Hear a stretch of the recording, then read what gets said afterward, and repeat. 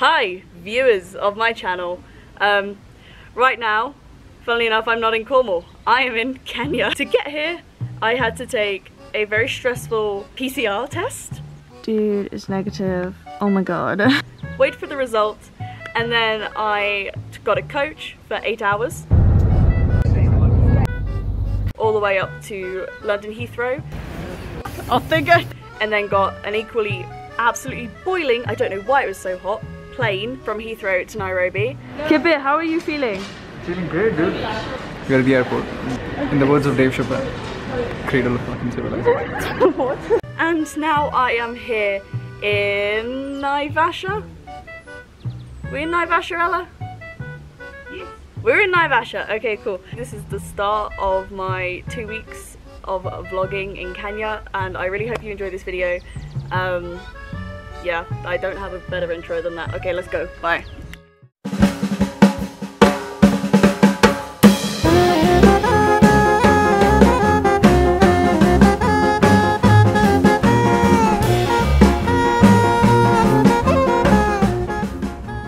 Within 24 hours of leaving Cornwall, we had made it to Kenya.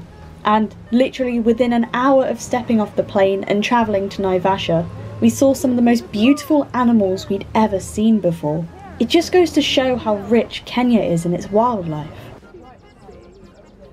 After we arrived in camp, we put up our tent, and I'm not gonna lie, it took us 45 minutes to put up a tent. There were six of us. It was absolutely ridiculous. It should not have taken us that long. We are about to do our first event of the entire trip.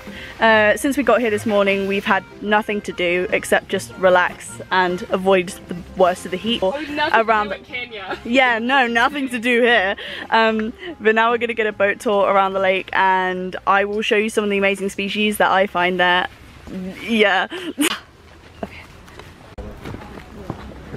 Oh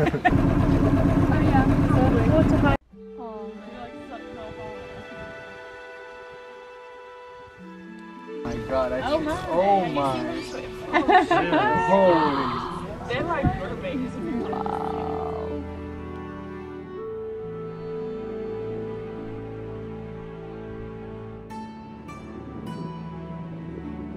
Yeah, pied kingfisher ahead. On the yeah, on the cusp.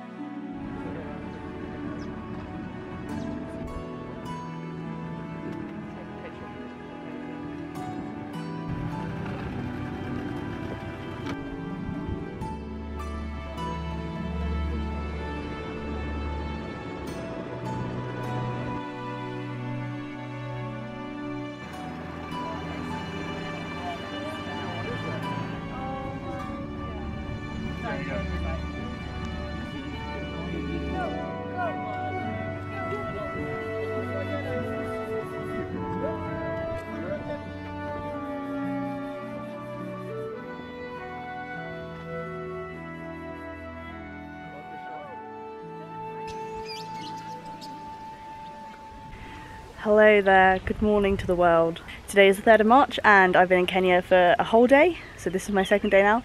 I'm already off to a pretty bad start because uh, Kenya is pretty high up in terms of altitude, so I'm about 2,000 meters right now. So I've already been sick, but I think I'm pushing through it and yeah, thank you for the moral support, Ella.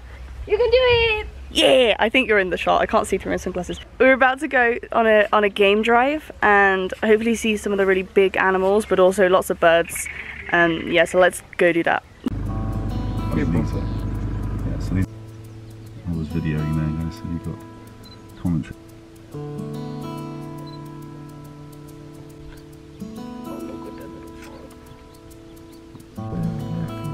Hello.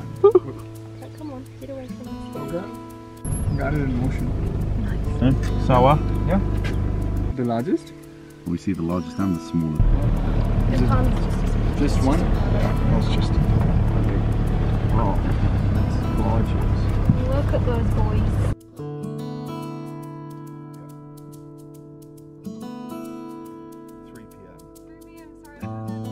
Loads of giraffe foraging on low, low-lying vegetation, which is why they're all hunched over. Oh, look at!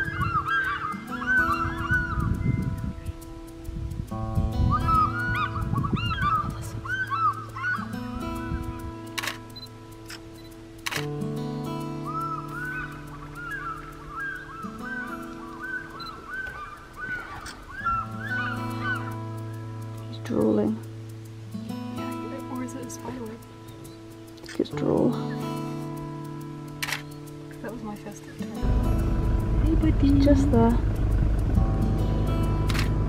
it looks like he's foraging for ants or termites.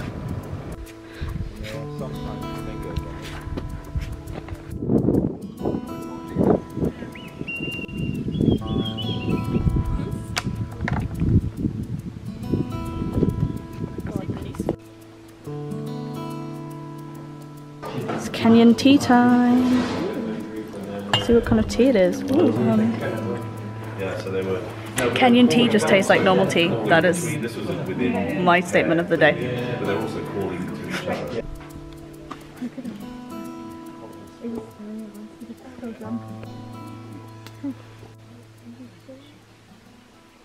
This is how it starts. So basically, I'm in Kenya right now, and unfortunately, what's happened is my arms have grown three inches in length. Um, it's the heat. It's caused the degenerative bone disease. look, just look at this. I can't even. It's so long. Oh, there's a there's a bird looking at our tent. Yeah. Uh, back to the actual story. I am filming here because our tent is too hot to stand in in the middle of the day. We just had this incredible lunch, which was like roti and some beans and samosas and mango. And we've got a couple of hours to wait, and then we're going to Hell's Gate. Is that correct? Yeah. We're going to Hell's Gate to um, assess some of the behavioural stuff that we find.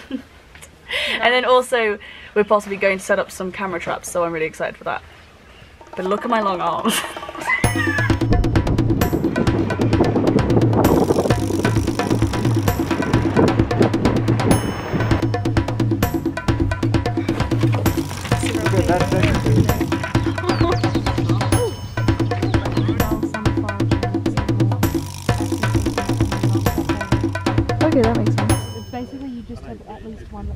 Yeah, so for our first behavioural study, we're just having a look at some of these hartebeests and recording some behaviours down, which is pretty cool. We're looking at licking at the flank behaviour.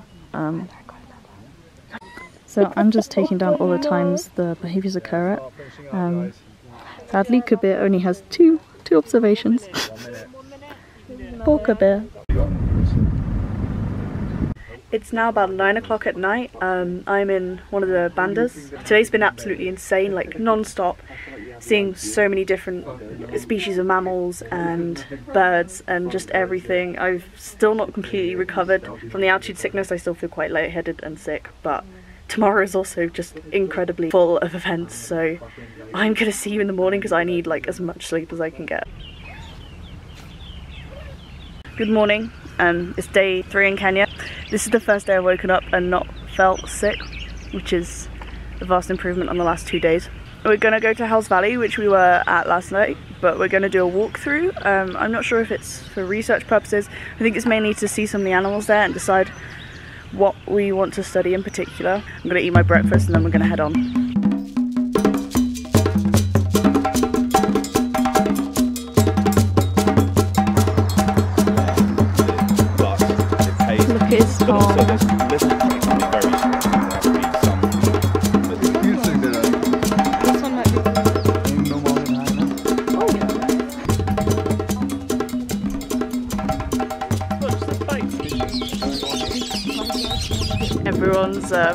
Taking photos of the secretary bird because it's just so iconic and beautiful.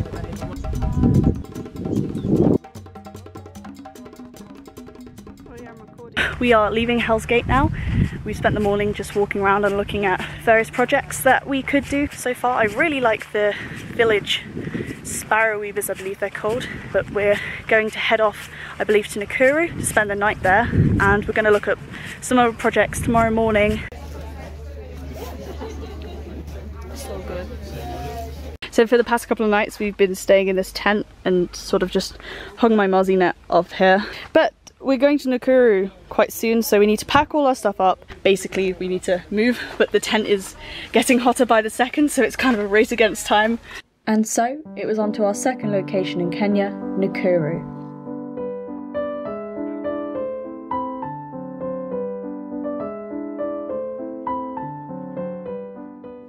Upon entering the park, one of the most amazing things that we saw were the rhinos. There are both black and white rhinos, and being able to see both of these species in one space is something incredible. Very pregos. Beautiful little sleeping lion. He's having a nap.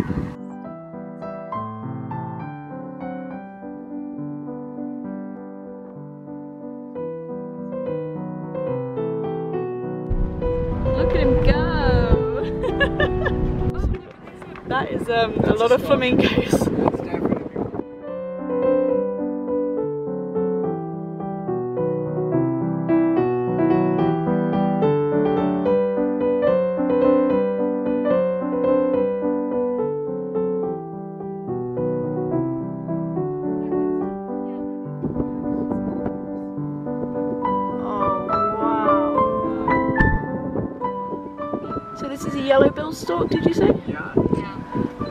Ugly bastards, aren't they? They're very pretty. Oh yeah, gorgeous, but look at its head. It looks like it wants to murder me.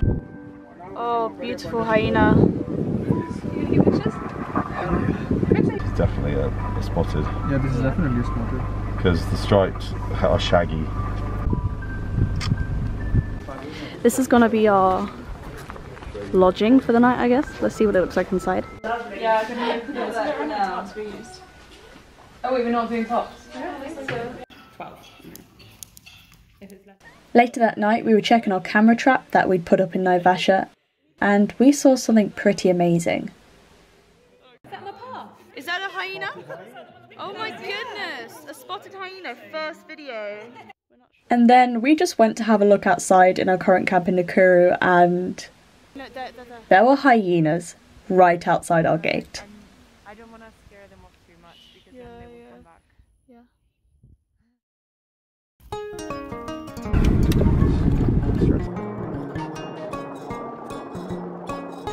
morning, little rhinos. Is that a calf with the mother? Yeah, that'll be a, a calf that's getting close to kind of independence.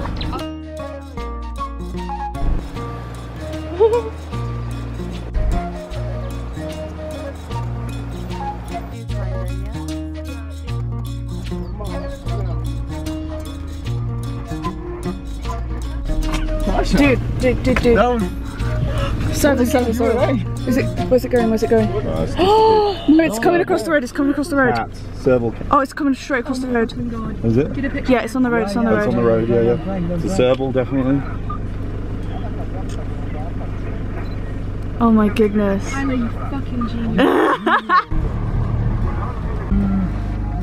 Spot the lion. Yeah, yeah. There she is.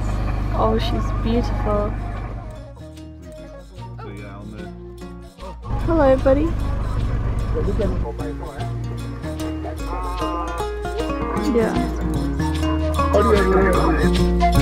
Yeah.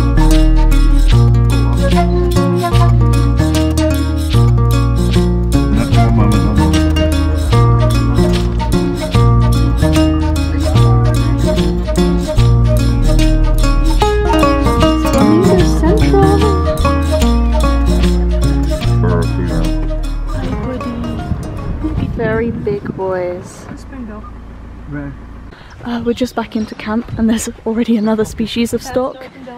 Um, just there. It's called an open bill stork. That'll be maybe the fourth kind of stork we've seen.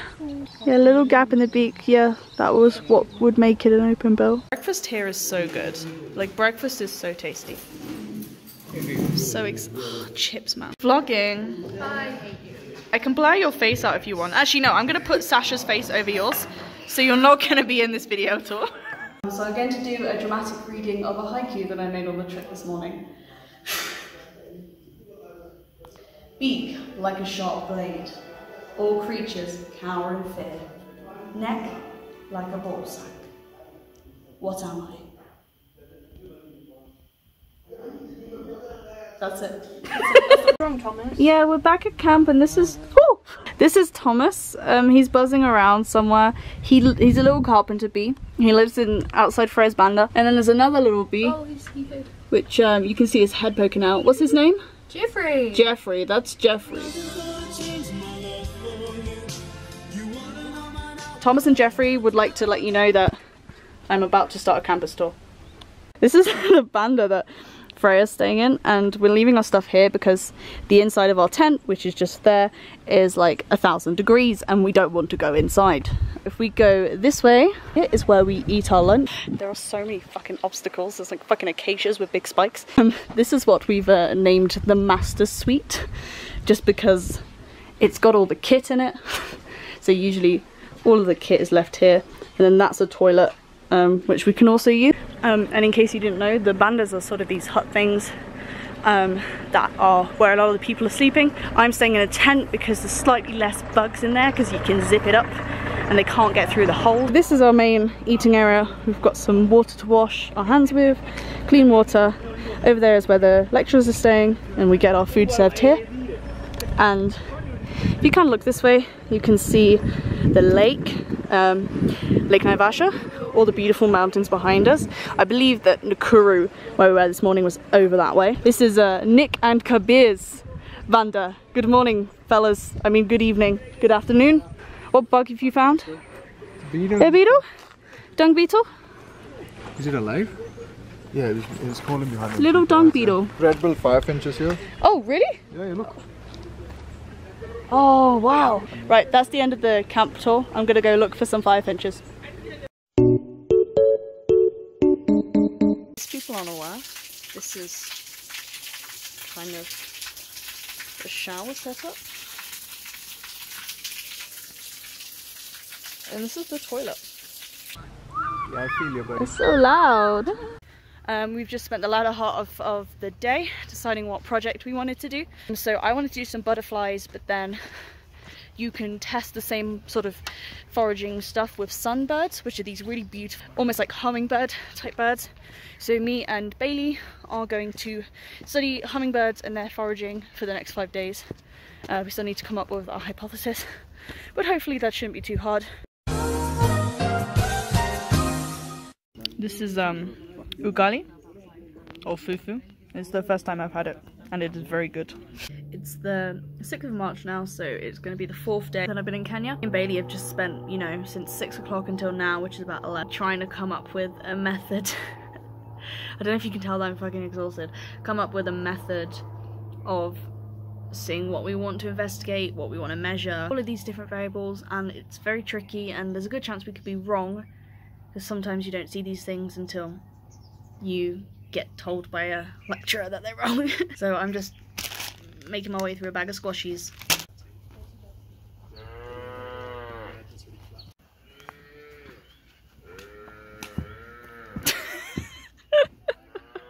Oh dude, this is so good.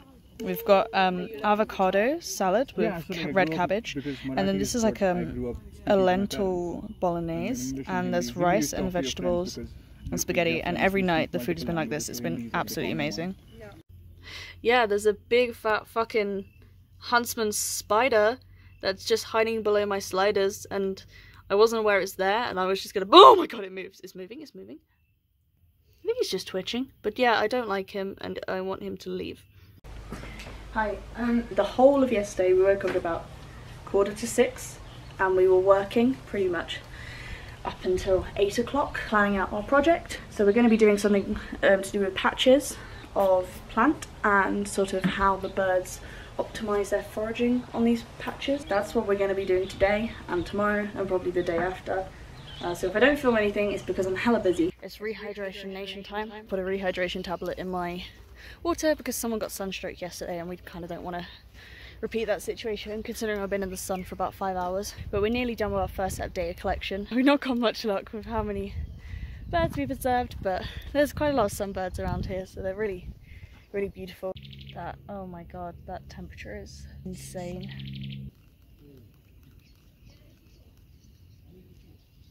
The temperature has been reading some insane stuff, like we, we basically went so high that it didn't measure anymore. It went over 60 degrees Celsius. So I'm going to put it in the tent because we can't go in because it's too hot in the middle of the day.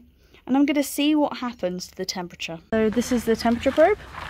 It says inside this tent it's 45.1 degrees Celsius, um, which is why we don't come in here in the middle of the day. But there is mosquito. We eat the mosquito with the deet. We're gonna go and have dinner now, and then we have to do a quick presentation that's gonna be really chill and just informal. That's what it's gonna be. It's gonna be. chill. it's gonna be so chill. I'm not going to be chill. It will go well because we know our stuff. Manifest good We vibes. we are manifesting the good vibes. I'll see you tomorrow morning. Goodbye.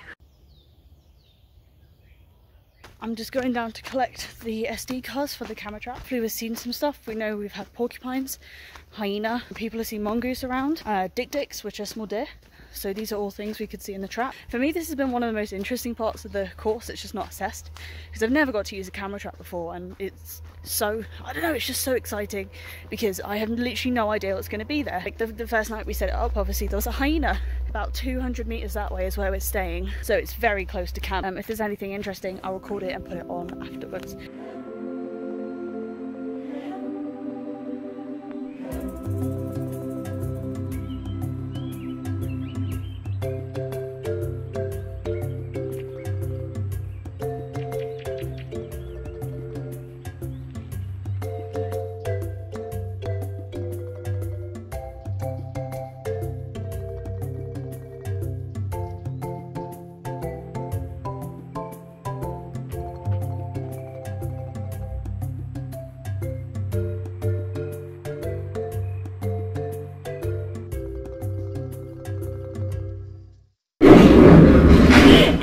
Liked this video, then make sure to like and subscribe for part two. There's gonna be elephants in it. Literally designed t-shirt. Like this is my drawing of all of the animals that we studied in Kenya, which is so awesome. Um, I don't know, I just wanted to add that in. But make sure you stay tuned for part two. Okay, bye!